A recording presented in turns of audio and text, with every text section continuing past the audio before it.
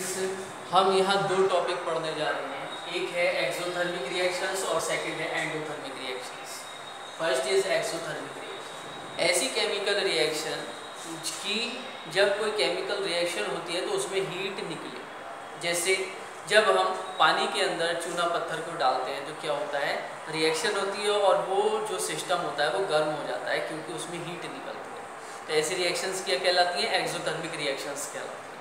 दूसरी होती है एंडोथर्मिक रिएक्शंस ऐसी रिएक्शन कि उन्हें स्टार्ट करने के लिए हीट देनी पड़े, ठीक है? जैसे खाना पकाना है तो खाना पकाने के लिए हमें क्या करना होगा? हीट देनी होगी, ठीक है?